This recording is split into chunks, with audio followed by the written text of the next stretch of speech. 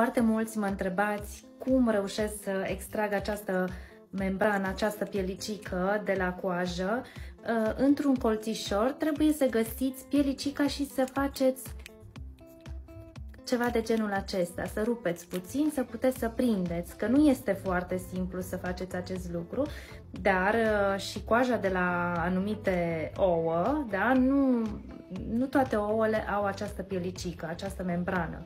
De aceea nu este foarte ușor să îndepărtați și să prindeți pielicica, pentru că foarte multe nu au, da? Ceva de genul acesta, prindeți și extrageți, da? Se extrage din interior toată această pielicică, membrană, după cum spuneam. Nu este simplu, cu răbdare se poate reuși. Dar, uh, da, uitați.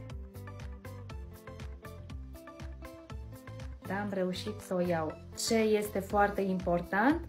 Ca oul să fie proaspăt și, dacă se poate, să fie de la uh, găinile de curte, ca să fie cât mai natural acidul. Hialuronic trebuie să fie cât mai natural.